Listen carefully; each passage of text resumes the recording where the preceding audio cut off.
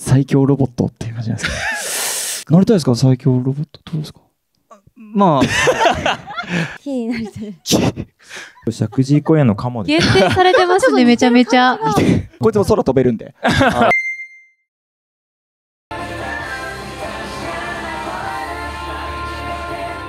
続いて畑中さんにも。はい。ごめんなさい説明することがもうほぼない最強ロボットっていう感じなんですかすいませんあのなんか弾とか受けても跳ね返せるぐらいの人間になりたいなと、いや、ロボットか、ロボットになりたいなと思って、もうね、特にね、これ以上語ることが本当にないんですよ。これって、あの、小学生の時とかに書いたわけじゃないんだよね？あ、そうですね。いや、漢字一応書けるから、まあ、小学生よりかはまだ、うん、頑張ってる方だと思うんですけど。でもいいよね。うん。なりたいと思いません？皆さん、最強ロボット。死なないんですよ、だって。ね死なないよ。壊れたら終わりだよ、で も。シソン君、シソン君に聞いてみれば？はい。なりたいですか？なりたいですか？最強ロボット。どうですか？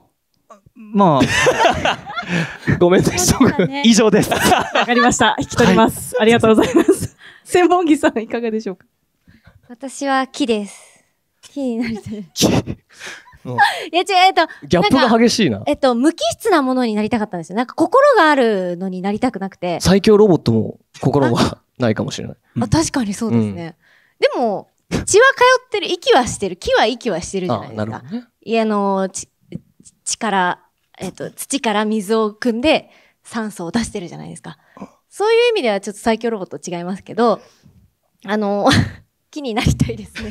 そういう意味で、あの、大きい木になりたいです。その地に何百年ってな、経ってる木になってみて、なんかみんなとパワーをこう交換し合いながら生きてってみたいなっていうふうに思いました。はい。はい。自由にお書きいただいて、そう、斜め上から来ましたね。ありがとうございます。いいですね。ありがとうございますね。はい。ありがとうございます。これは荒木監督にもお書きいただいてるんですが、監督なんと、うんと石神井公園のカモで限定されてますね、めちゃめちゃ。似てる感じしますね。カモと木で。穏やかなね。なんか公園にいたいですね。一緒に。かもあのね、あの、この作品の絵コンテを書いてた時期って割と緊急事態宣言下だったんですよ。で、その時に、あの、一日一回だけ、あの、そう、ずっとこもって絵コンテ書いてて、で、一日一回だけ外出る時って、あの、石神井公園に犬の散歩に行く時だったんですよね。で、その時に、まあ、しょっちゅうカモいるんですよ、本当に。目の前を通るし、飛んでるし、池に浮かんでるし。で、あいつらいいなってすごい思ってたんですよね。なんか可愛いし。うんうん、であのなんか話に聞きゃシベリアとかに行って帰ってくるらしいじゃないですかおこいつらは。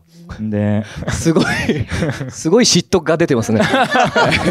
どんどん言葉遣いねが荒くなる。俺はずっと練馬区だがシベリア行ってきたんだって、ねああ自由になりたい。そんな感じ、うん、そうそうそう、ええまあ、もしくは最強ロボットになりたいです そうですよね。こいつも空飛べるんで。